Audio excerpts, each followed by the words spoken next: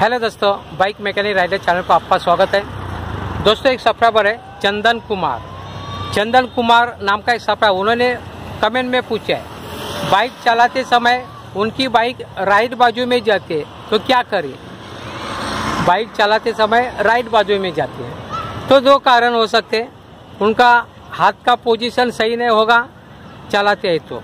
या बाइक का हैंडल में कुछ तो गड़बड़ हो गया।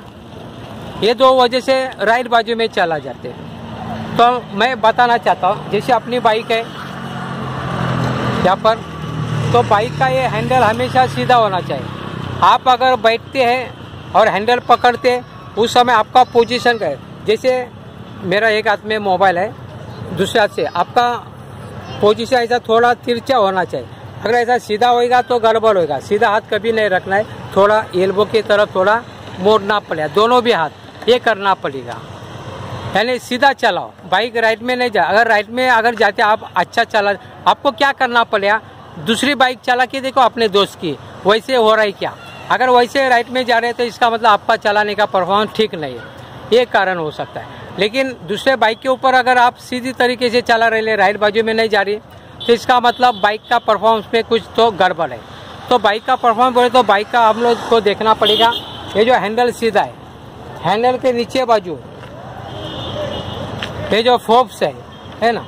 इससे क्या होता है ये भी तेल होएगा। बाई चांस आप कहीं अगर गिर गए रहेंगे सस्पेंशन है वो, आप कई बार अगर गिर गए होंगे दाएँ या बाएँ गिर गए होंगे तो तेरा हुआ रहेगा। ये वाला चीज़ है तेरा हुआ रहेगा। ये यहाँ पे टी होता है, टी।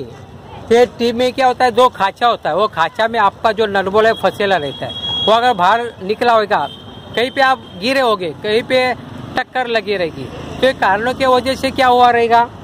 आप राइट में जा सकते हैं, भले से आप अच्छा चलाते लेकिन आपकी बाइक राइट बाजू में जा सकती है। दूसरा कारण है, आपको कैसे देखना है?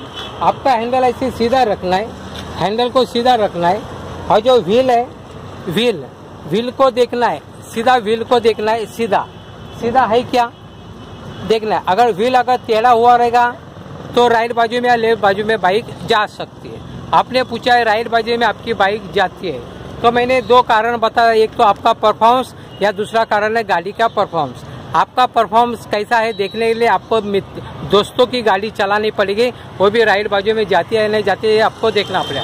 अगर गाड़ी राइट बाजू में जाती है तो आपका परफॉर्मेंस सही नहीं है। अगर गाड़ी, दूसरों की, दोस्तों की गाड़ी, अगर वो राइट बाजू में नहीं जाती है तो इसका मतलब गाड़ी का परफॉर्मेंस सही नहीं तो जो मैंने अभी बताया हैंडल अगर तेरह रहेगा सीधा कैसे करना है, वो उसका भी मेरा वीडियो आप सीधा करके ले सकते हैं। व्हील तेरह रहेगा उसको देखना है। ये जो सस्पेंशन है, इसको भी देखना है। या फिर टी होता है टी होता है, इसको भी देखना है। इसके वजह से क्या होता है बाइक राइट बाजू में जा सकती है लेफ़्ट बाजू में जा सकती है।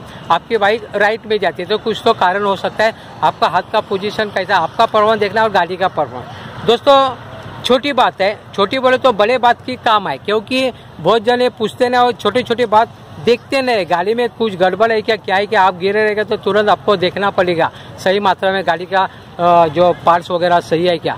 अगर आगे का पार्ट्स अगर झुका हुआ रहेगा तो गाड़ी राइट में जाना वाला है। इस प्रकार की छोटी बात मैं आप लोगों के वीडियो के माध्यम से हमेशा लेके आते रहता हूँ। आपको अगर वीडियो अच्छा लगता है तो प्लीज़ लाइक शेयर और सब्सक्राइब करें।